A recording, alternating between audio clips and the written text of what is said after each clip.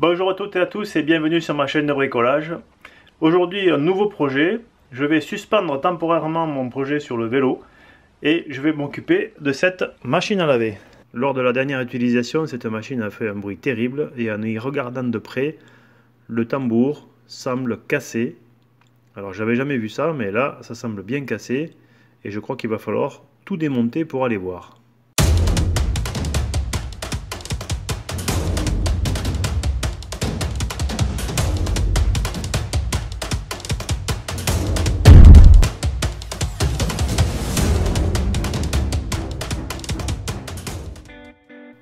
Je crois qu'il va falloir désosser complètement cette machine pour accéder au tambour. C'est une opération que je n'ai jamais faite, mais je vais en profiter pour vous montrer comment c'est fait à l'intérieur et quels sont les organes principaux que l'on trouve dans une machine à laver.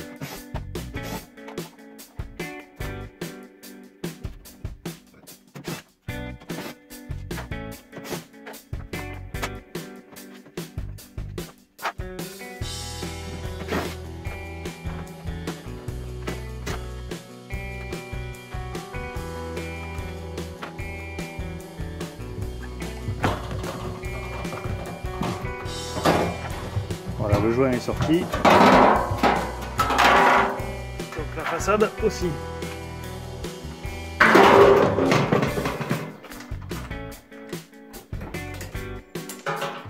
Donc le joint ici, il a encore un cerclage pour le tenir, mais je ne vais pas l'enlever, je vais le sortir avec cette partie du, du tambour. Enfin, je vais essayer de la sortir avec cette partie du tambour en espérant ne pas être obligé de sortir tout le tambour. Maintenant qu'on a enlevé la façade, on peut voir vraiment comment est fait une machine à laver. Alors j'ai pas tout enlevé encore, mais on voit ici donc le tambour, ici tournant, avec sa partie fixe, la cuve, qui est suspendue par un ressort ici et un ressort de l'autre côté. Et dessous, ça repose sur des amortisseurs. Donc cette cuve qui est en plastique, qui est suspendue, a à l'intérieur un tambour tournant. Donc il y a un axe là-bas derrière avec un roulement. C'est ce qu'on va essayer d'aller voir. Et le système tourne par l'intermédiaire de cette poulie avec cette courroie qui est derrière. Et ici, le moteur qui entraîne le tambour le système ici que l'on voit en avant que j'ai déjà démonté, en fait c'est le système de vidange. Voilà, il est comme ça normalement. Alors, une pompe de vidange, un filtre en façade, un renvoi vers l'évacuation. Ici, un mécanisme avec un clapet qui est réalisé avec une bille avec une sphère. Et donc quand on remplit en fait la sphère, elle descend. Et ici, on a un système de mesure là, du niveau d'eau dans la cuve. Et ça doit être un système tout simplement de mesure de pression. Ça renvoie, ça coince ici une bulle d'air. Quand l'eau monte, la bulle d'air est coincée, elle remonte dans ce tuyau. Et ça vient dans ce petit mécanisme ici, là, qui en fait est une membrane. Et quand la pression monte, eh bien euh, ça envoie une information comme quoi la cuve est remplie. Voilà. Alors j'ai enlevé euh, la façade avant, mais ce, ne sont que des boutons ou que des programmateurs. Donc voilà le principe de fonctionnement euh, d'une machine à laver. Et ensuite il y a un système qui est basé sur des masses. Ici une derrière et puis celle que j'ai enlevée à l'avant, qui sont des masses stabilisatrices pour éviter que quand on essore notamment, et qu'il y a un déséquilibre, eh bien le tambour bouge trop. Voilà, on l'a alourdi.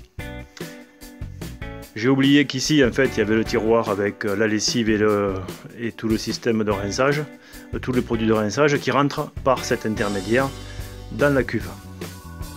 Donc pour accéder au tambour, je pense qu'il faut enlever la partie euh, avant de, de, la cuve qui est fixée ici par une dizaine de boulons. Donc on va enlever les boulons et on va laisser la cuve suspendue.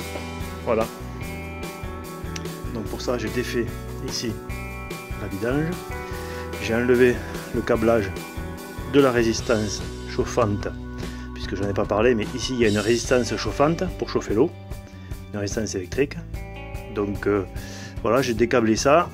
Normalement, il n'y a plus rien qui empêcherait la partie avant de sortir. On va enlever ce dernier tuyau qui pourrait gêner. Voilà. Et maintenant, on doit pouvoir l'enlever. Ah, il manque encore ça. J'enlève ça et puis je vais désolidariser la partie frontale de la cuve.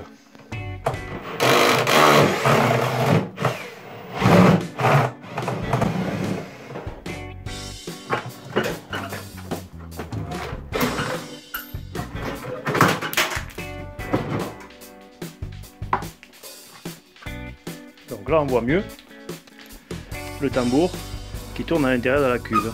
Et c'est là où on voit que en fait la cuve ne bouge pas et le tambour bouge beaucoup. Alors euh, il doit y avoir un malaise quelque part. Bon maintenant la question c'est comment je fais pour démonter le reste. Et là je sais pas trop, il faut que je réfléchisse un peu.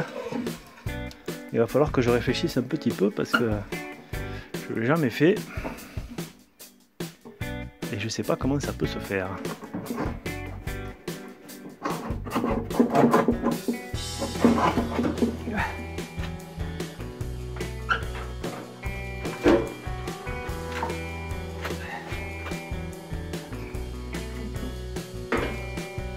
Voilà, j'ai sorti euh, la cuve avec le moteur associé.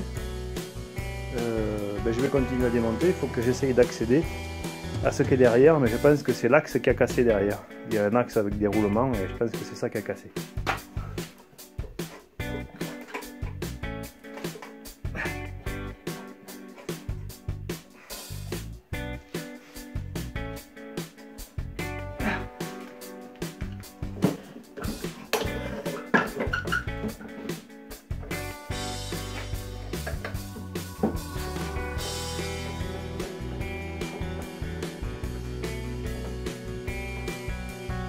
Enlever la courroie que j'ai l'intention de, de chauffer ici.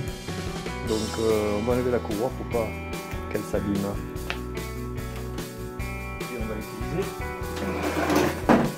ce petit chalumeau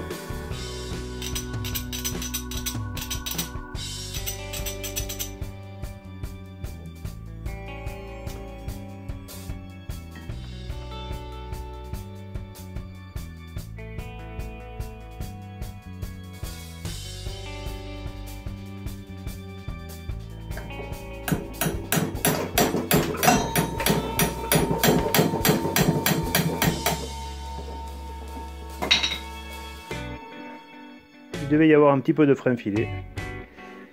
Et c'est ça qui m'a embêté. Bon, mon chalumeau est tout petit, hein, mais ça suffit pour que je puisse enlever la poulie. Voilà. Bon, maintenant, il faut que je regarde pour extraire l'axe qui est à l'intérieur.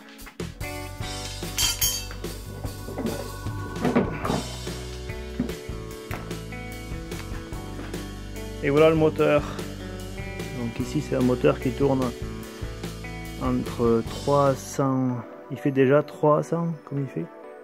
920 watts. 1 kW quoi. C'est bien. 1 kW, euh, c'est un moteur qui peut servir. Et il a deux vitesses, il tourne entre 300,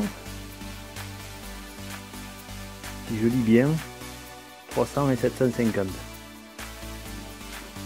Alors là,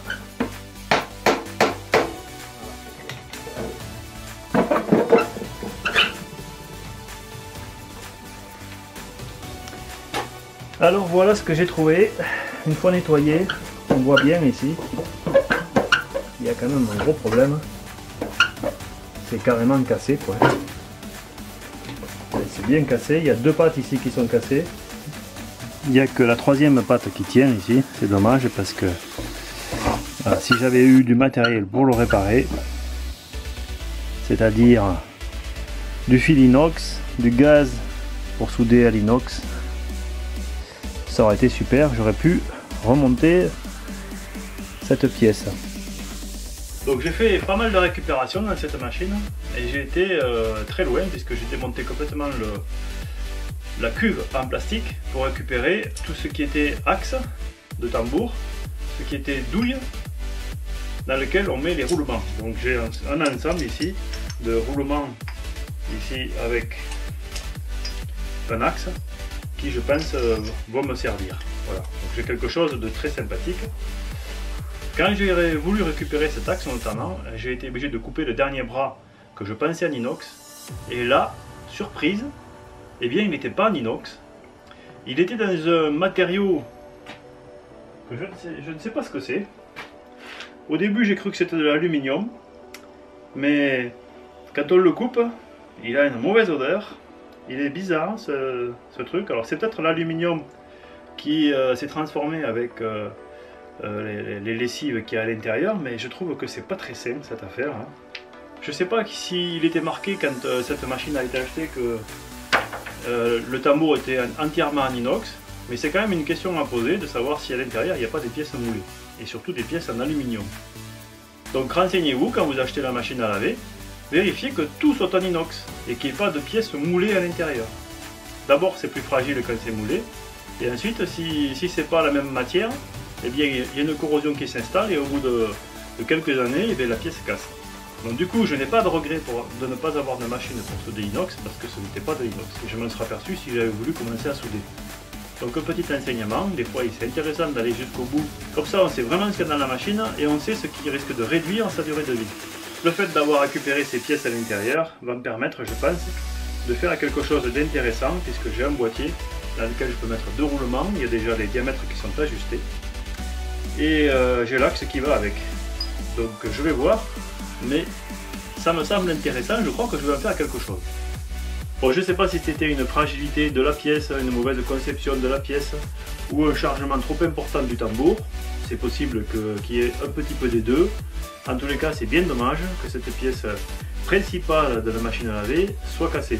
Mais quand je regarde les forums, je m'aperçois que cette pièce casse relativement souvent. Donc j'espère que vous avez passé un agréable moment avec moi à regarder comment démonter une machine à laver, même si au bout du compte je me retrouve avec un tas de pièces et une machine à laver qui ne marche pas. Je vous dis à bientôt dans un prochain épisode. Et d'ici là, soyez curieux, soyez prudents, bricolez bien. Et à bientôt